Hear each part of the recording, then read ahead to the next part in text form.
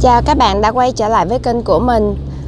Mới đây nhất, mình cũng ờ, có nghe đoạn video của luật sư Trần Quốc Vũ chia sẻ về việc ờ, tỉnh thất bồng lai.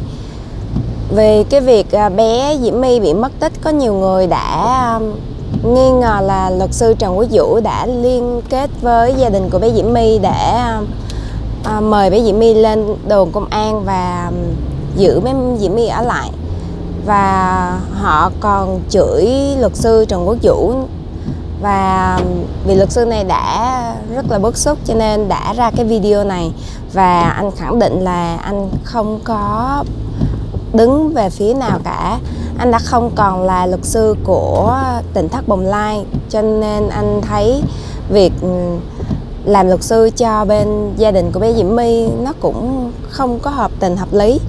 Cho nên um, nếu như mà mọi người trách móc vì luật sư này thì hy vọng là sẽ suy nghĩ lại.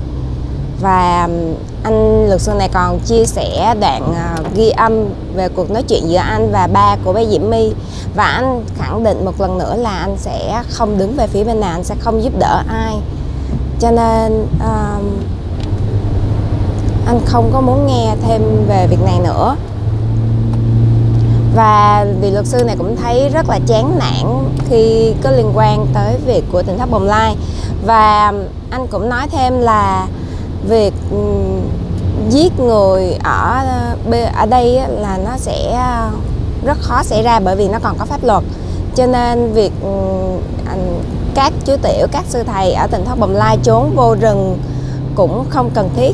Hy vọng là họ sẽ quay trở lại an toàn và họ sẽ không còn những lo lắng phập phòng nữa.